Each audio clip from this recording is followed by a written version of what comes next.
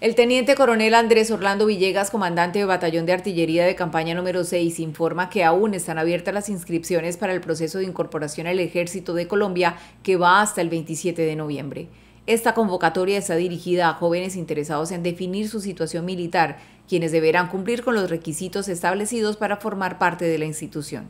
Las personas que puedan aplicar eh, a, nuestro, a prestar el servicio militar en nuestra unidad van a estar eh, directamente enfocadas y comprometidas con la seguridad de la infraestructura crítica, desde la misma refinería acá en el distrito hasta algunos campos eh, como la Cira Infantas y otros campos en los corregimientos de Barranca Bermeja y Puerto Wilches. Es decir, van a tener una afinidad directa con el tema eh, de infraestructura, con el tema de Ecopetrol directamente y con el tema de producción energética que inclusive pasa por el campo, por ejemplo, que se inauguró hace casi dos meses eh, de producción solar. El coronel Villegas destacó que este llamado es completamente voluntario y ofrece beneficios significativos, tanto personales como profesionales, a quienes decidan integrarse a las filas del ejército. Bueno, jóvenes en edades entre los 18 y hasta faltando un mes para cumplir los 24 eh, años de edad.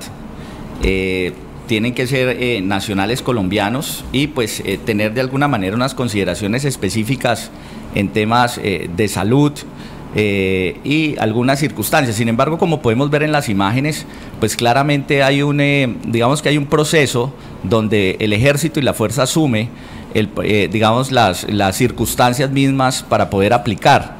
Hay unos exámenes psicológicos, físicos, que determinan de alguna forma u otra la posibilidad de que estos jóvenes puedan ingresar eh, de manera, eh, digamos, eh, viable y correcta. El fortalecimiento de las fuerzas militares en Colombia es considerado necesario por parte de gran parte de la sociedad colombiana. Las fuerzas militares de Colombia tienen como misión principal defender la soberanía, la independencia, la integridad del territorio nacional y el orden constitucional.